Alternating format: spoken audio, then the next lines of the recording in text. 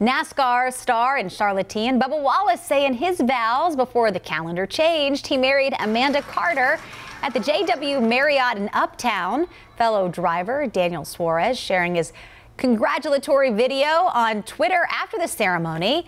They finished off the night with dancing and tapas and a McDonald's food truck at the after party. So congratulations to them. One of my best friends got married 12 years ago on New Year's Eve and it was it was such a fun wedding. Everyone had a blast. I feel like that would be a really fun Yeah. time to have your wedding. Yeah. Yeah. Countdown, music. It was great. Yeah. Lots to be thankful for. And then your friends don't have to make New Year's plans. exactly. They already have them. Perfect. How's that work out? Maybe I'll keep that in mind for the future.